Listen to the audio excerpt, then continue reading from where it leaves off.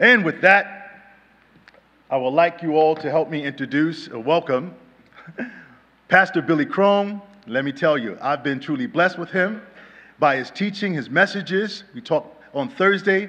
I've, I just gleaned from all these resources that he puts out, and prayerfully, you will as well. And I do pray that you will just be blessed by this teaching this morning. So, Pastor, without further ado, I'm not going to take your time. Please come on. Awesome. Thank you, Pastor Mac. Good to see you. Awesome. How you guys doing? Good. Good to see you. Once again, you know why? because it's really weird preaching to an empty auditorium. You guys were paying attention on the last one. But uh, uh, hey, just wanted to, again, once again, announce uh, how many guys were here Thursday or the previous service? Raise your hand. All right, praise God. So we got some new folks. Just to let you know, those messages are uh, apparently online. You can check those out. But if you want to go even deeper, because basically what I'm covering is uh, the highlights of a study that we have called The Final Countdown Tribulation Rising, Volume 1, dealing with the Jewish people and the Antichrist. 20 plus hour study, 20 studies on this. Uh, we also have this. This is DVDs. We have a book. We also have, I forgot to mention the previous two studies, uh, that we have this available in a Bible study curriculum. So it's great for Sunday school classes or churches and things that nature. But that's where basically what you're about to see today, uh, this study is coming from if you want to get more. We also just came out with the second volume on modern technology. Hot off the press, you can check that out as well. Uh, we have a few items left on the table out there if you want to check it out there, but if we're, it's almost all gone. Uh, so if you want to get it online, you go to getalifemedia.com. Where's that at? That's called getalifemedia.com. Who said that? There's an echo in here. getalifemedia.com. Uh, you can get that more. Or, as I've been saying, uh, you could also stay in touch with our ministry via our app. We have a new app uh, simply called the Billy Crone app. C R O N E. Search with your Android or Apple device, tablet, phone, whatever, in the App Store. Just search for my name, Billy Crone, and you can download that for free. You get basically for free eight years worth of studies prophecy studies, apologetics, theology, you name it all over the place, book studies. It's all up there for free. Uh, also, again, we do not copyright our media. So if you get our media, and every single piece of media has the gospel presentation on it deliberately, because it's not only for our own edification, it's for evangelization. And if you ever happen to get the DVDs of anything, make a billion copies. We actually say, please copy on the writings. Make many copies you can, give it away uh, to as many people as you can. It's almost like we're in the last days and it's time to get motivated. Amen? We're not trying to build a castle here on earth, we're trying to store up treasure in heaven. So let's work together as God's team. All right. Well, you guys ready? Yep. All right. I've got to ask you this question, though, because you guys look like Christians. Right? How many of you guys, as Christians, believe in miracles? Amen. Raise your hand. Well, if I'm going to get this done in three hours, you're going to see one. That's right. No, not to freak you out. I think we'll be on time, sort of, maybe. Famous last words for a preacher. But uh, let's go ahead and begin in prayer. Father, thank you so much for our next study as we once again take a look at your word and take a look at the future. Nobody has a brighter future than we, your church. And we're so thankful for that. That's why we got done singing uh, so many wonderful love songs to you through music with the, the, the, the great worship team. And God, we uh, thank you for that privilege. We also thank you for the privilege of your word and that you tell us in advance what's coming, not to freak us out, but to prepare us. And the rapture is not something that's scary, that's best case scenario. We get, we get to leave this, frankly, a garbage can compared to what heaven's going to be like, and, and to go be with you. No more sin, no more of that baloney, no more of these struggles, no more of this wicked world system. Man, we get to enjoy our reward at that event. So help us, God, as your people, uh, to be excited and longing for your return. And in the meantime, get busy doing what we're supposed to be doing, and that's sharing your good news that they can be saved and join us at the rapture before it's too late. And God, as always, if there's anybody even here today that is not born again, would you please save them, Jesus, before it's too late? Please, God, this is not a game. You know that more than we. This is why they're here, if that's the case. Please save them, rescue them, God, not only from the wrath that come on this planet, the seven year tribulation, but hell forever. Oh, God, please have mercy on them just like you did with me 26 years ago. So please bless this study even now. We ask all this in your wonderful name, in Jesus' name. And all God's people said, Amen. Well, hey, I'm going to have you another question for you guys. Hopefully, this one's not too difficult for you. But uh, how many guys ever had a mom? Raise your hand. Now, those of you didn't raise your hand, you're freaking me out, to be honest with you. Uh, because did you know it's been scientifically proven that if you didn't have your mom, if she didn't have any kids, you won't either? Let that settle in later. You might be able to share it at lunch uh, with somebody. Okay? But uh, not just how many guys had moms, but how many guys had moms that gave you that classic mom advice? You know what I'm saying? I mean, it made total sense to her, but you're left there going like, "Oh, what did you just say?" Right? Well, this guy puts it in uh, pretty good language. You tell me if you ever had a mom that gave you advice like this. Let's let's take a look at this. Phrases. My mom used to use phrases. I didn't know what she was talking about half the time. I want you to clean up this room, every nook and cranny. Every nook. What is the cranny? Give me some more. what's, a, what's a nook? I don't know what that is either, you crazy lady. Is my nook dirtier than my cranny?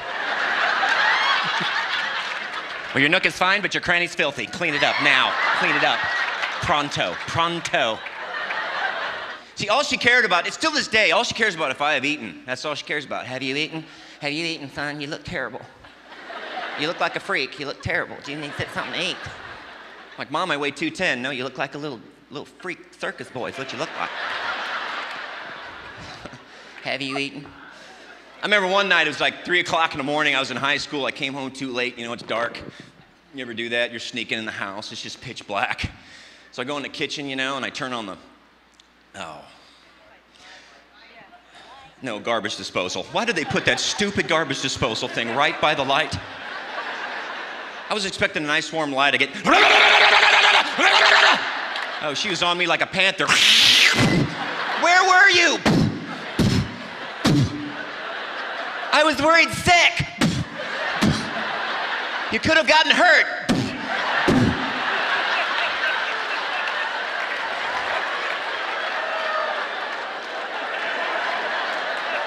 Have you eaten? Have you eaten? all right, how many of you guys had a mom like that? Okay. Yeah, you knew she loved you and she gave you all this great advice, but man, sometimes you paid a price for it, okay? And folks, believe it or not, I can't think of a, a better way to explain prophetically what's going on in the world today. Did you know that God, too, has given us some great advice? It's right here in the Bible, folks. Uh, and that advice has been around for uh, 2,000 plus years in many instances, okay? And he's definitely shown us his love and concern for us uh, by giving us his son, Jesus Christ. But what's the problem? Our planet, our world refuses to listen. And so, unfortunately, the Bible is also very clear, folks. Our planet is headed for a beating of biblical proportions, only it's not going to be from mom's foot, it's going to be from the wrath of Almighty God. The Bible says that our planet is headed for what's called the seven year tribulation, a time frame where God's wrath is going to be poured out on this planet for seven years nonstop. Again, Jesus said in Matthew 24, speaking of that time frame, that the seven year tribulation will be a time of greater horror than anything this world has ever seen or will ever see again. And that unless God shortened that time frame, i.e., kept it to just seven years, the entire human race would be destroyed. How many guys would say that's, that's some advice you need to listen to, eh, to to escape that horrible future? Right? That's why he sent Jesus Christ, okay? And that's because God's not just a God of wrath, he's a God of love as well. So, how does he demonstrate that love? He tells us in advance these things so we're not caught off guard. Number one, if we're a Christian, we're busy being a faithful bride, telling people how to get out of this mess. Amen? To escape the wrath of God. Right? Number two, if you're not a Christian, if you're not saved, so that you can escape it through Jesus Christ. That's how he demonstrates his love, and it's all over this book. Now, he doesn't tell us the exact day or the hour. As I said, both messages, I think it's common sense. Why? If God told us the exact day and the hour of the rapture, what would we Christians unfortunately do? We would goof off to the very last minute, right? Five minutes to go, oh, I guess I better start serving Jesus. You look like I'm a Christian and good impression, you know, Jesus about ready to come back. Okay, so he doesn't tell. And for the lost, why doesn't he tell the lost? Because they do the same thing. Oh, I don't need God. I don't need Oh, what's that? Five minutes to go? Hey, I guess I better clean up my act and I guess I better uh, accept Jesus as my Savior right now. No. Now, he doesn't tell us the exact day or the hour, but he does gives us signs when it's getting close. Okay? Now, another one of the signs we're going to look at today is this one, folks. This is wild. The Jewish people, the rebuilt Jewish temple, and guess whose head's up there again? President Donald Trump, folks. It is all unfolding right now. Now, you're saying, well, what temple is this? Well, as we're going to see in a minute, it's just you know, the actual temple that the actual Antichrist will go up into and actually commit the actual abomination of the desolation halfway into the seven year tribulation. That's all. It's unfolding right now. Okay? But as always, don't take my word for it. Let's listen to God's. Open your Bible. It says 2 Thessalonians chapter 2. 2 Thessalonians chapter 2. If you find 1 Thessalonians, what do you do? Hang it right. All right, you get there. 2 Thessalonians chapter 2, we're going to read verses 1 through 4. If you find 3 Thessalonians, what do you do? You throw it away. It's not in the Bible. That's right. 2 Thessalonians chapter 2. I'm stalling time for you, folks. Can't have that dead air. That's against the law. So, but uh, 2 Thessalonians chapter 2. How many guys ever, when you was a young Christian, you felt when they say, hey, turn to the book of Hezekiah, and you were just whipping up a storm looking for that thing? Anybody? Yeah, you know you're out there. Praise God. Okay. Or the book of Second Opinions. Did you fall from that one? All right, never mind. I stalled enough time. Second Thessalonians chapter 2. Let's now read. What does God say about a rebuilt Jewish temple in the last days? Okay, certainly in the seven year tribulation. Let's say this. Uh, the concerning the coming of our Lord Jesus Christ and our being gathered to him. What's he talking about? The rapture, right? But continue on. He says, We ask you, brothers, not to become easily unsettled or alarmed by some prophecy or report or letter supposed to have come from us saying that the day of the Lord has already come. He's not talking about the rapture the day of the Lord. The day of the Lord is a different event. The day of the Lord in the scripture, Old and New Testament, it's a day of darkness, a day of gloominess. It's a day of God's wrath. When does God's wrath start? At the beginning of the seven year tribulation. So basically, what Paul is saying is concerning the rapture, he says, Don't let anybody dupe you into saying that, that supposedly Christians are in the day of the Lord, i.e., in the seven year tribulation. Do people say that today? Yeah. What's Paul say about that? Don't let anyone deceive you in any way. For that day, not the rapture, the day of the Lord, which starts at the seven year tribulation moving forward, he says it will not come until the rebellion occurs and the man of lawlessness, the Antichrist, is revealed. When is the Antichrist revealed? How do you know it's the guy? That's the very event that starts the seven year tribulation. That is Daniel 9 27, when the Antichrist makes a covenant with the people of Israel. That's how he is revealed. And that's the beginning of the seven year tribulation. We leave prior. He says, Now this guy, he is doomed to destruction. And here's what he will do in the seven year tribulation he will oppose and will exalt himself over everything that is called God or is worshiped. And he sets himself up where?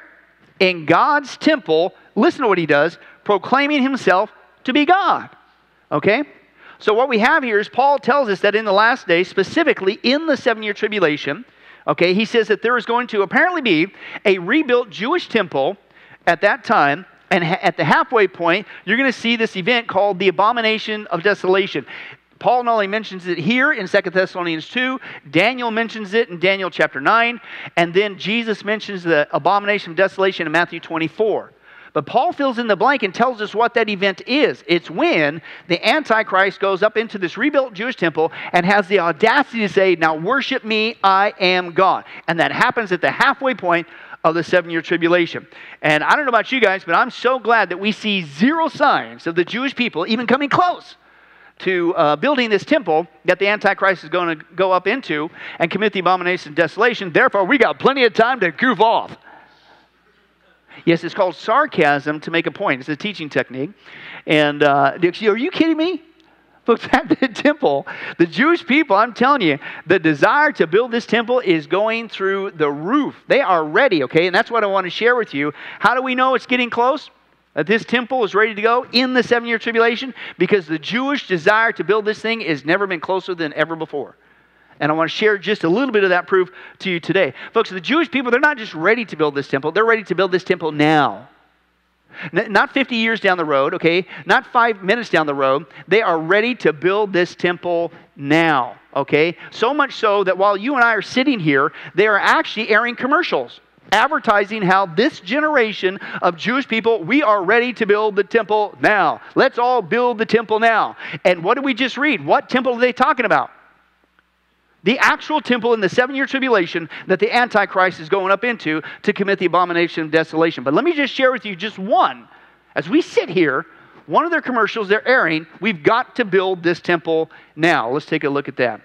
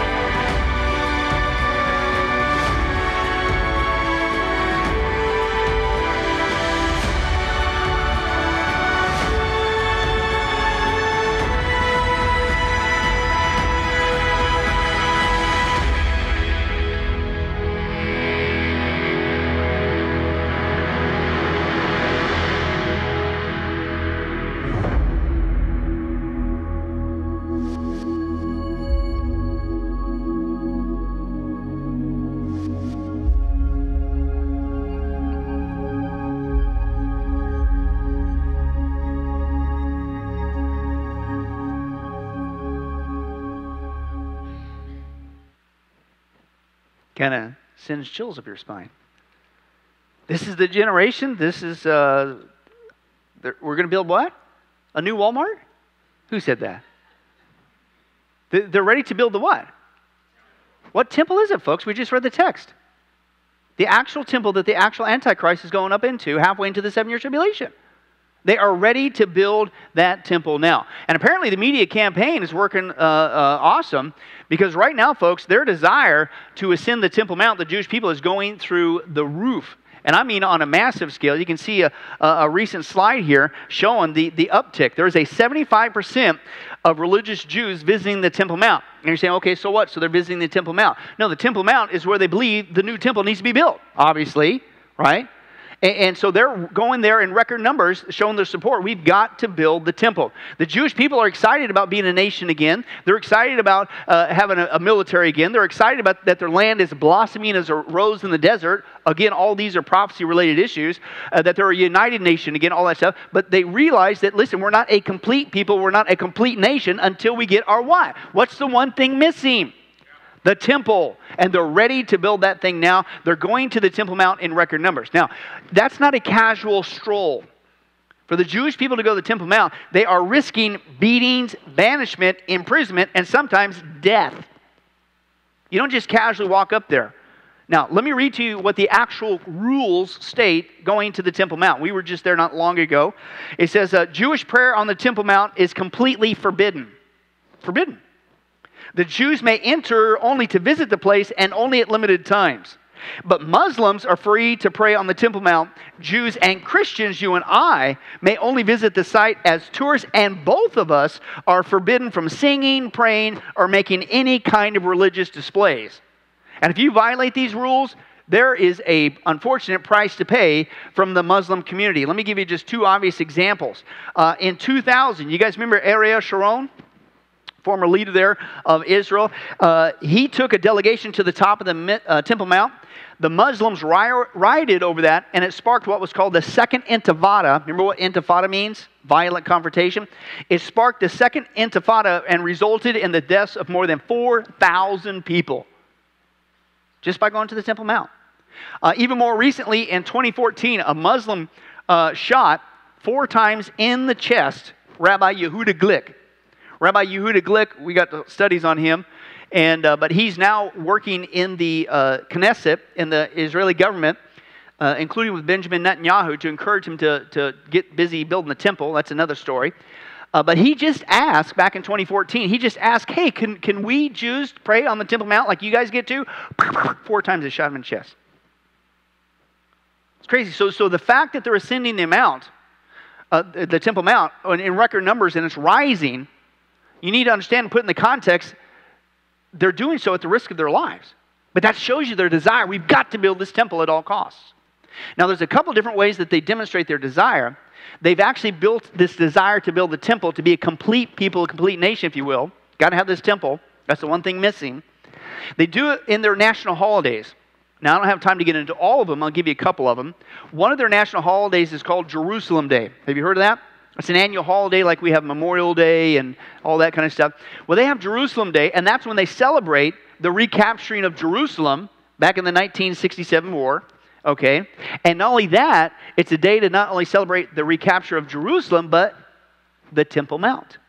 And if you're familiar with that day, in that six day war in 1967, that they recaptured Jerusalem and the Temple Mount, and they had ownership of the Temple Mount until shortly thereafter they gave it back but on this day, Jerusalem Day, every year, the Jewish people are excited, not just, hey, we got Jerusalem back, but they basically are proclaiming, we are the rightful owners of the Temple Mount. And we have all rights to build our temple there. And the Muslims kind of go nuts over that as well. Another event that they have, an annual event in their holidays about the temple, is a holiday called Tisha B'Av. Now, Tisha B'Av is celebrated the ninth day of the month of Av, or basically uh, in July, late mid July, depends on the year. Uh, for you and I. And they say it's, quote, the saddest day on the Jewish calendar on which we fast, deprive ourselves, and pray because it's when they remember the destruction of the last holy temple, which would be the one in 70 AD that was destroyed by the Romans. So every year on Tisha B'Av, they remember that. That's why weeping and fasting. But It's also an annual reminder, just like Jerusalem Day, that we've got to build that new temple now. In fact, let me share with you another commercial, this one geared towards this holiday called Tisha B'Av, and see what it's all about. Let's take a look at that one.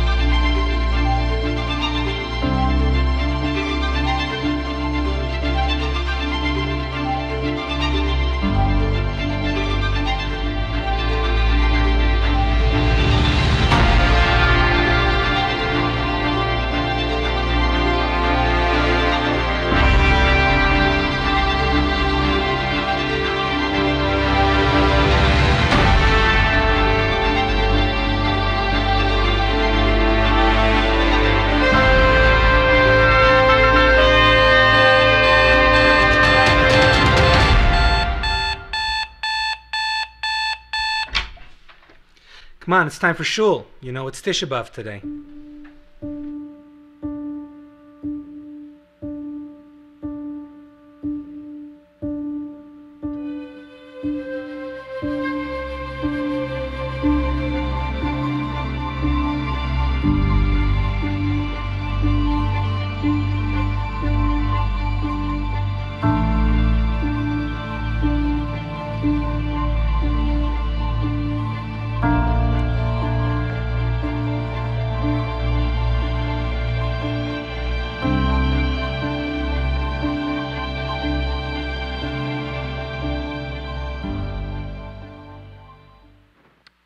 Wow.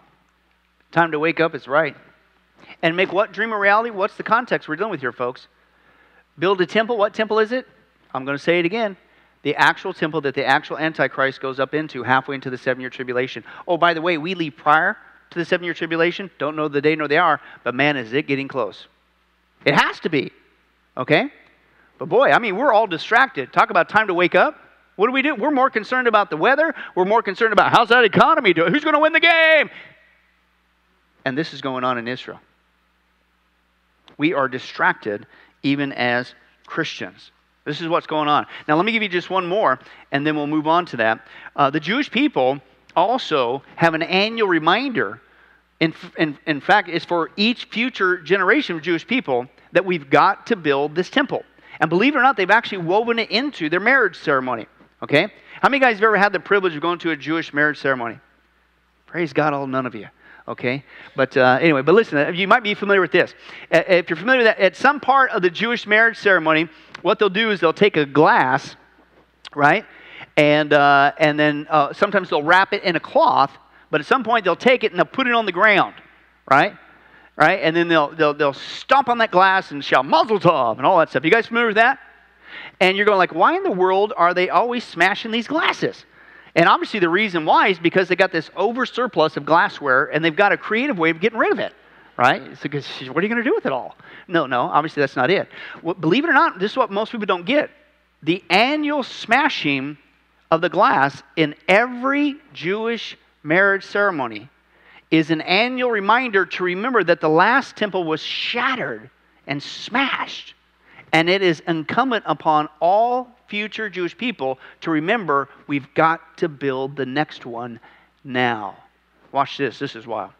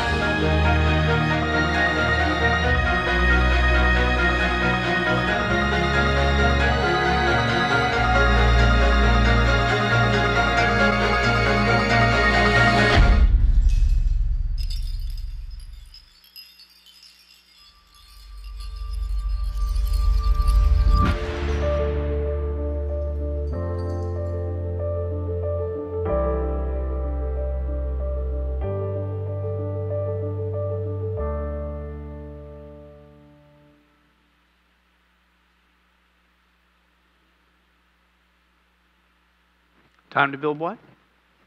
Say it again. Repetition increases remembrance.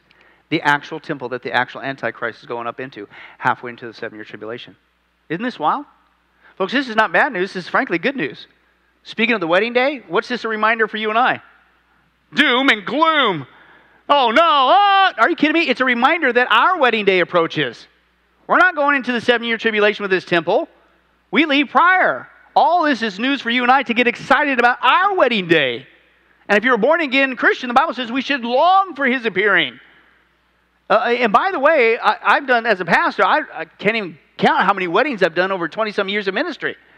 Right? But I, I've always taken it as a really bad sign that the closer that the wedding day gets when one of the two people getting married get actually upset or start freaking out. That's not a good sign.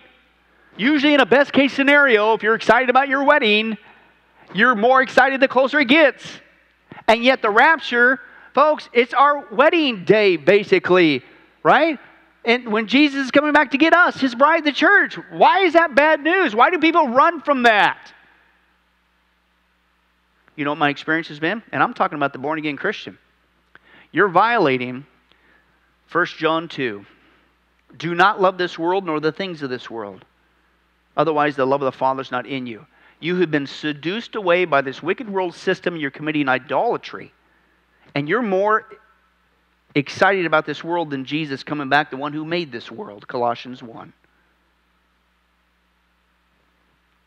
Spiritual adultery. But if you're a born again Christian, this is exciting news. We don't know the day nor the hour, but this is telling us it is getting close. Our wedding day approaches. And it isn't just their desire, it's not just these annual reminders. Uh, I don't have time to go into a whole lot of detail. I'm just going to hit some highlights real quick. We've got uh, full details uh, in our study. But they're building the articles, and they've been doing it for decades. And they basically, in a nutshell, have just about everything that they need to fill up this temple. Okay, I'm talking the golden menorah, the golden flask, the shovels, uh, the ram's horns, the musical instruments, the, the sacrificial knives, the golden lots to determine which animals for sacrifices, the table of showbread, the laver, the incense chalice, the whole nine yards. And also, did you know that they just picked the actual high priest for this temple? Yeah, his name is Rabbi Baruch Kahane. Check it out. They have the high priest ready for this temple. He's being trained as we sit here. And so are the priests and the priesthood. They've been trained for years priesthood schools and things of that nature. In fact, um, I was there, I saw the actual implements with my own eyes, but they won't let you take pictures of them. Okay? But I'm going to show you how much of a desire they have to build this temple, and they're ready to go with all the articles. Just need a place to put them in, the temple, right? Uh, at the Temple Institute, I was just there, and I'm going to share some pictures, just what they would allow me to shoot, and that is just in the gift shop.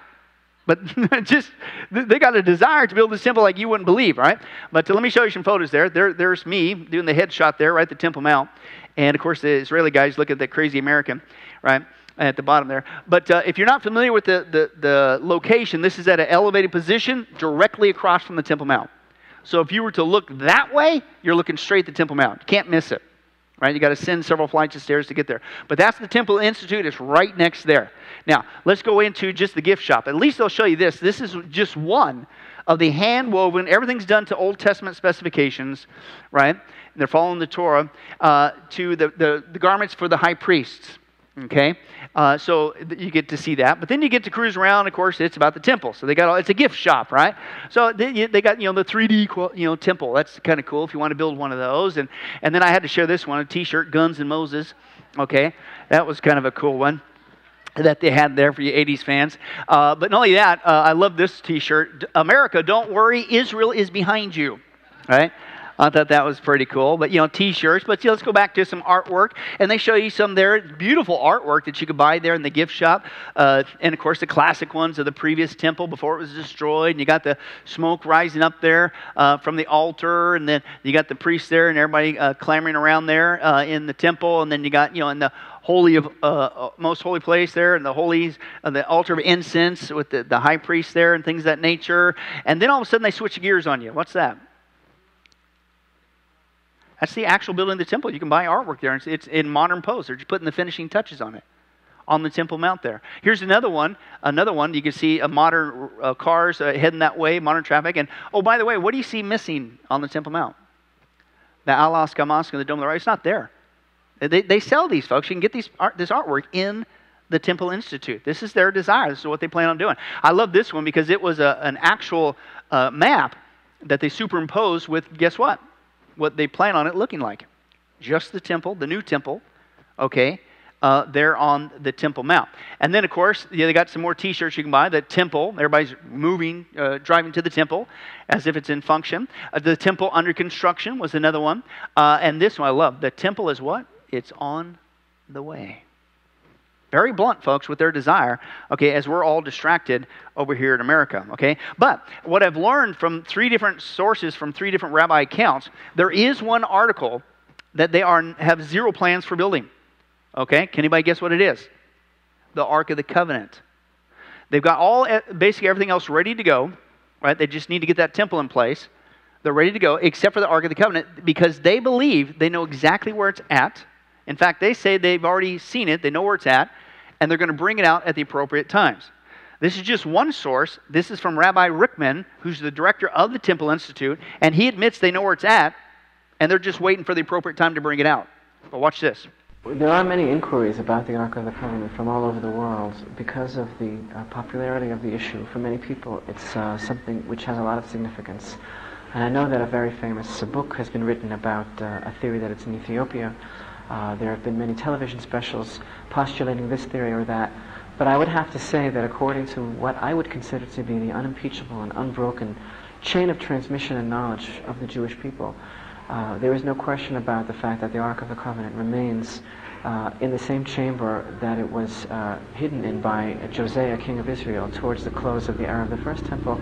That chamber, which had been personally designed by King Solomon, uh, who saw with prophetic enlightenment that eventually the temple would be destroyed, uh, that was hidden there together with a number of other items. We know where they are.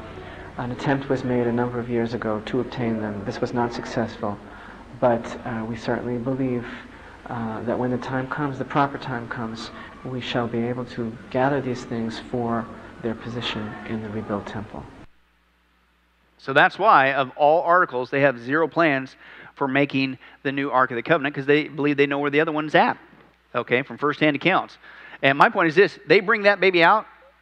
You realize the fervor that would cause for the Jewish people?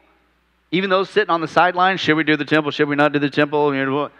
Man, it's going to put everything over the edge, isn't it? There will be nothing stopping them at that point if they whip out the actual Ark of the Covenant. But again, I don't have time to get into it, but they've already got the plans. You can even watch the 3D plans online.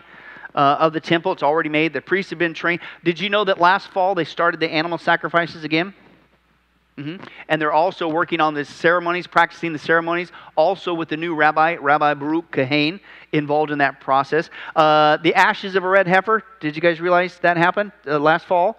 Okay, and then I heard a second one is now in existence. You're saying, what's the big deal about that?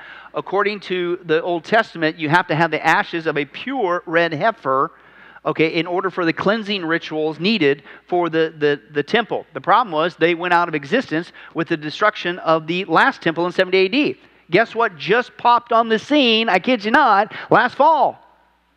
A pure red heifer. And I hear they even got now a second one in spare. In fact, just a couple months ago in Jerusalem, in, in, in Israel, they, they just burned a whole heifer, not one of the red heifers, they're holding on to those, but they went ahead and burned a whole heifer just to experiment to see if it created enough ashes for all the Jewish people for these cleansing rituals. And it did. That was just a couple months ago, folks, as we sit here all distracted uh, by various things, okay? Not only that, uh, as we sit here, in fact, they may have it done already, but I want to show you a picture. You know what that lady's weaving? Her and a bunch of other ladies. This is about 40 minutes north of Jerusalem. Folks, that is the new Holy of Holies veil for the temple. Now, what's wild about that, if you read your Bible and don't skip over parts, Matthew 27 tells us what happened to the last veil, right? This was at uh, Jesus, Matthew 27, 50 through 51. And when Jesus had cried out again in a loud voice, he gave up his spirit. At that moment, what? The curtain or the veil of the temple was torn in two from top to bottom. The earth shook and the rocks split at the death of Jesus Christ right? And guess what? They're making another one as we sit here, and it may already, in fact, be done. Not only that, they've also uh, just completed uh, something called the uh, Messiah Scroll, the Messiah Torah Scroll. And you're thinking, well, okay, so what's about that? Well, the Jewish people believe the Messiah is going to be here anytime. Anytime. Okay? Uh, in fact, they're probably more expectant than, unfortunately, many so called Christians. Okay? And they, they say that when he comes, he can't just read, you know, some average Torah scroll that we have lying around. We've got to make him his own copy. And that's what they did. It, and they just got it done not too long ago. And as you can see here in this final photo, uh, they got it all wrapped up, ready to go to give to the Messiah. Why? Because this will help, quote, usher in the requirements needed, they believe, for the Messiah. Now, not only that, uh, last December, they started to do a fundraiser campaign to drum up the funds to build what's called the Messiah crown. Now, not the high priest crown, okay, which, by the way, I think they spent uh, tens of thousands of dollars, a jewel encrusted crown for the high priest, not to mention the ephod with all the jewels and stuff. That's all been done. I'm talking about they believe the Messiah is, could be here at any moment, that they are now doing a fundraiser to build and to create the jewel encrusted crown to place on the Messiah when he comes. Here's their fundraiser. Watch this.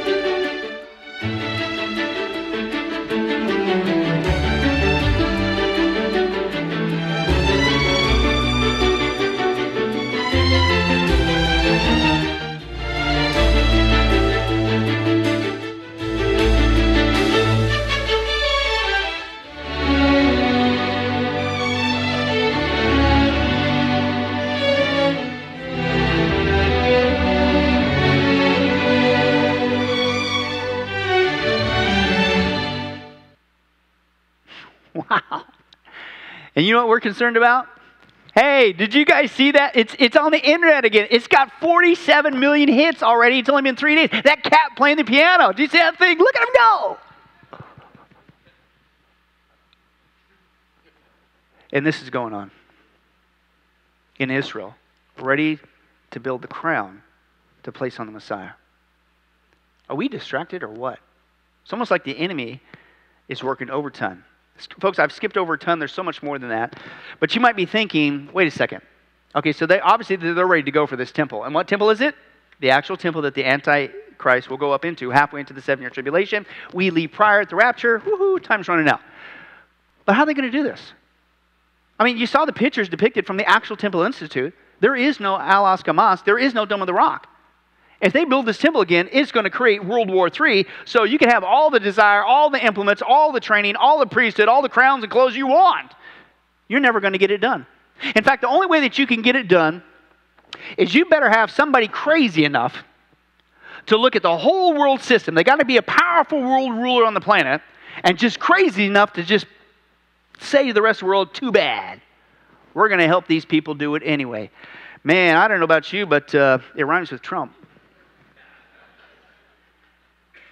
The Jewish people right now believe that our president, yeah, he's elected your president, they firmly believe he's been handpicked by God for the Jewish people as such a time as this. Not just in the moving of Jerusalem, or the acknowledging Jerusalem as the capital with the move of the embassy, we saw the last message, okay? And not just being pro Israel, as we saw in Thursday's message. But they really believe ultimately that our president, President Donald Trump, has been handpicked to help them build this temple. And again, we're seeing uh, a re- complete reversal on steroids from the Obama years, who, again, was the most anti God, anti Christian, anti Israel president in the history of the United States. And all of a sudden, here comes Donald Trump. And he is now the biggest supporter of Israel in a multitude of ways. And they're saying that, listen, this is not by chance, this is from God. And it comes from prophetic implications, right? This is what they're saying. Watch this. Rabbi Joseph Berger says Trump will build what? This is their words. The, I'm not saying thus saith the Lord. I'm just saying this is what they believe about our president. He will build the third temple in Jerusalem. U.S. President Donald Trump's unabashed support for the Jewish state and his public recognition of Jerusalem as its capital has many Israelis electrified. The current American leader's positive attitude towards Israel seems nearly illogical, especially after decades of far more hostile trends. Can I translate that for you? Especially after the Obama years. And then here comes Trump with all this crazy, awesome support, this has got to be from God. That's what they believe. He says, That's why I believe the reason for this shift is that Trump has a big role in playing what? The building of the third temple and the coming of the Messiah. Okay, let's continue on. This uh, other rabbi, he also working for the United Temple Mount, he said words of prophecy are coming forth from the Bible and becoming facts. While Muslims jeer, Israelis cheer President Trump's Jerusalem declaration, prompting Jewish religious activists to suggest what? Building the third temple is closer to a reality than ever before. What he did was an enormous step in bringing the temple. Do you get it? Yes, they're glad that he is supporting and backing Israel. Yes, they're glad about the move of the embassy to Jerusalem. Yes, they're glad. Even recently, he is saying that the Jewish people are the rightful owners of the Golan Heights. They're excited about all that. But ultimately, they think what? He's also the guy who has the power to back us to do what everybody says could never happen the building of the temple. He says there's been many amazing advances towards bringing the temple this year. It was clear that Trump was part of that process. Listen, guided by Hashem, in other words, guided by God. In fact, so much so, folks, that they believe that our president, okay, is going to be the guy to help them build the temple. Okay, that they've actually produced temple coins with our president's head on it next to King Cyrus. Now, why is that important? Because we saw in the last message, King Cyrus Okay, Isaiah 45, and Trump's the 45th president. People say that's kind of interesting, right? Uh, he was the guy, the last guy, secular guy, who helped them build the second temple. So they're calling our president the new Cyrus, okay? And they're putting their money where their mouth is, okay? Now, I actually got them with me, and uh, uh, the actual coins. And when we're done, Lord willing, we'll have them at the table. We don't sell them or anything, but you got to come and just check it out with yourself. Okay? But this is the one of the first ones they came out with. It's the silver half shekel coin. Right? Now, can you, you can all see that, right? Yeah, I, I didn't think so. So let me, let me show you some close ups here. But you can clearly see, and by the way, this is not plastic. This is the real deal, right? This is our president's head on it next to King Cyrus. And what does it say there? Temple coin, right? Lest there be any doubt, you flip it over and you see a picture of the temple. Now, a lot of people say that, well, these coins are just commemorative. Well, maybe some of the other ones, but not this one. This is from the Mikdash Temple Educational Center, okay? And they say, and I quote, the temple movement and the Jewish Sanhedrin issues the half shekel coin with the profile of Trump and Cyrus, the likes of which the Torah mandates every Jewish male must donate to the temple with a weight of exactly 9.5 grams in real silver. And that's what this is. So technically, this one could actually be an actual temple coin used in that temple. Isn't that weird? I'm telling you, you got to come check it out. But that's just the beginning of that one. Now, if you want to pay a little bit more money and a bigger box, you get the next one. This one's wild. This is the gold plated coin. And again, we brought uh, Big Brother technology. We will be watching you at the table back there. No, uh, just kidding. Uh, maybe. But uh, this is actually gold plated. This is heavy. Okay, gold plated. And uh, for those of you obviously don't have eyesight of a rabbit, okay, let's take a look and let me uh, get that for you. Here, of course, as you can see with the gold on it, but let's remove the gold so you can see what's going on with this coin, right? You can see our president's head again with King Cyrus. Why? Because they think he's the new Cyrus to build this next temple. You see the Persian seal on the left and the American seal on the right. Then they quote Ezra, and he charged me to build him a house, a temple, where?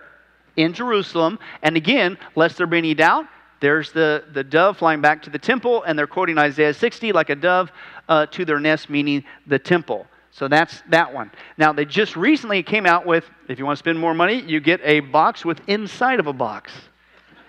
And it's not just a white box. Inside that white box is a wooden, delicate box.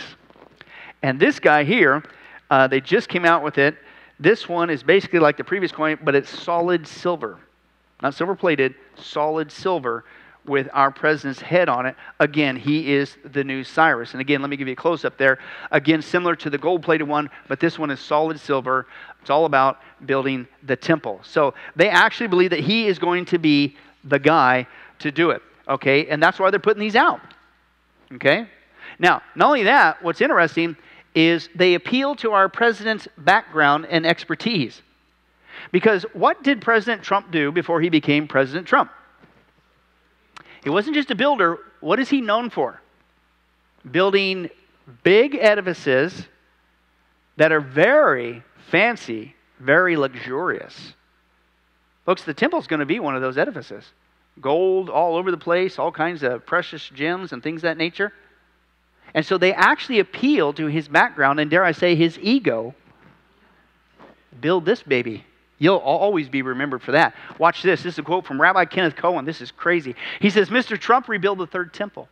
You're the most powerful man on the earth, and when it comes to the Middle East, every president has tried to build his legacy by forcing an unrealistic settlement on the parties of conflict, right? He says it's never going to work, right? He says, I would like to suggest that you build your legacy in a way that hasn't been attempted for a few thousand years. Mr. Trump, you have developed some of the most amazing building projects in your career. He says rebuilding the third temple would be your most ambitious project thus far. Think he'd bite off on that one? I think he would, right? He says, I realize we might have a little problem with the Al-Aqsa Mosque as well as the Dome of the Rock. That's called the understatement of the year.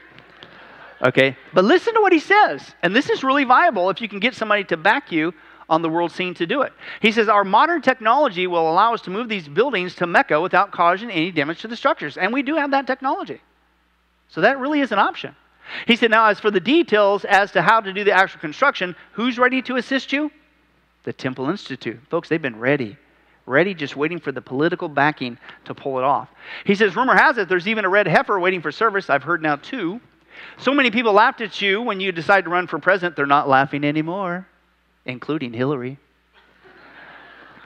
He says, I know you like challenges and you want to make your mark on the world. As crazy as all this sounds, Mr. Trump, you might just be the one to pull this off. Oh, and by the way, as an added bonus for getting the job done will be the coming of the Messiah. As we sit here watching that cat go crazy. Wow, we're running out of time. Now, another interesting thing, I'm not here to support uh, numerology or anything, but I'm just sharing you what the rabbis think is very special about our president.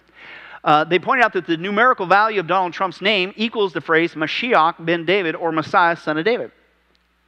Now, they don't believe he is the Messiah, but they believe that our president is going to be used by God as a part of the process of ushering in the Messiah, be that as it may.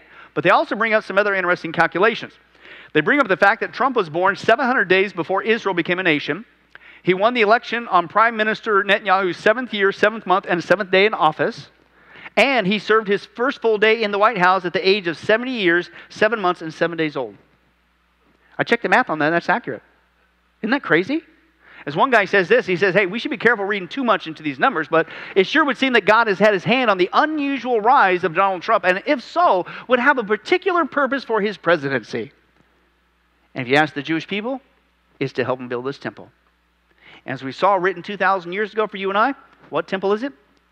the actual temple that the actual Antichrist is going to go up into halfway into the seven year tribulation.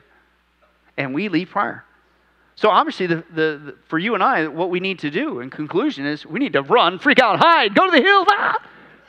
No, who keeps saying that? Whatever. We're going to talk to you later. Okay. No, what, what are we supposed to do? Get excited, man. Are you kidding me? This is great news. This is best case scenario. Because we all know when the rapture happens, we all go to Walmart. Way better if you actually read the Bible, which I highly recommend. No! What's Jesus say? When these things begin to take place, what do you do? You don't freak out. Stand up, lift up your head. Woohoo! Your redemption draws near. We're out of this joint. In fact, as we close, you've been sitting around for a long time. Uh, let me encourage you with this exercise. So let's go ahead and stand up. Let's go ahead and stand up.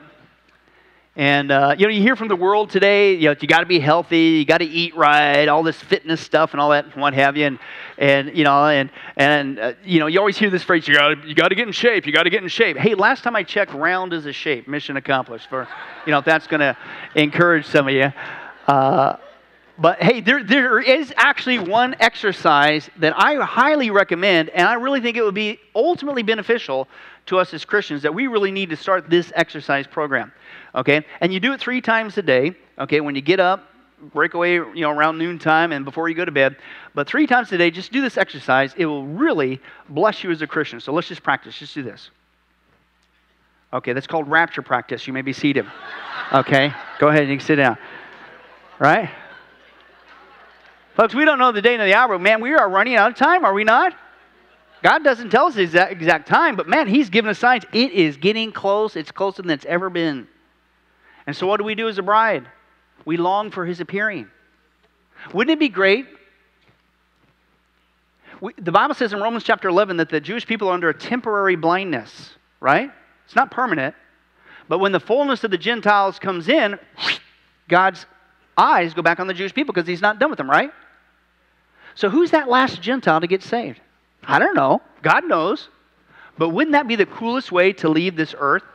As a Christian, we're a faithful bride, and, and we're just witness to somebody, right? And, and we're, we're grabbing hands with them, we're holding in prayer, and, and, and then and both of us say, and in Jesus' name, boom, and we leave. Now that's the ultimate way to go. But can I tell you something? Christian, right now in your walk with Jesus Christ, not what you hope to in the future, not memories of the past, right now, how's your walk with Jesus Christ? And if the rapture were to happen today, and it could, did you realize Jesus is going to find you doing something? Let that sink in. He will find you doing something. And based on your current walk with Jesus Christ, are you being a faithful bride? Will you even come in close to be witnessing to anybody? Maybe you haven't even witnessed in a long time. As Pastor Max said, have you, do you even pray? Are you even reading the, the Bible? Is that the state you want Him to find you in? Hey, praise God, we're saved by His grace, by His mercy, not of our works. Amen? Otherwise, we're all doomed straight to hell, myself included. So praise God, we're going to get there. If you're born again Christian, you're going in the rapture. Amen? But He's going to find you doing something. Don't you love Him? Don't you, don't you want to be found being faithful? Think about that. As we close, hey, listen, the rapture is awesome. You want to be in the rapture, you don't want to be left behind. Because the Bible's very clear. At the rapture, again, man, we get sucked up off this earth, we meet the Lord in the clouds, and all this baloney fades away. But right after the rapture, shortly thereafter, I don't know the exact date of the hour, but man, shortly after that, bang! God's wrath is going to be poured out on this planet for seven years nonstop. You don't want to be here. And so if you're not saved, you need to get saved right now. This is not a game. It might look something like this. We'll close in prayer after this.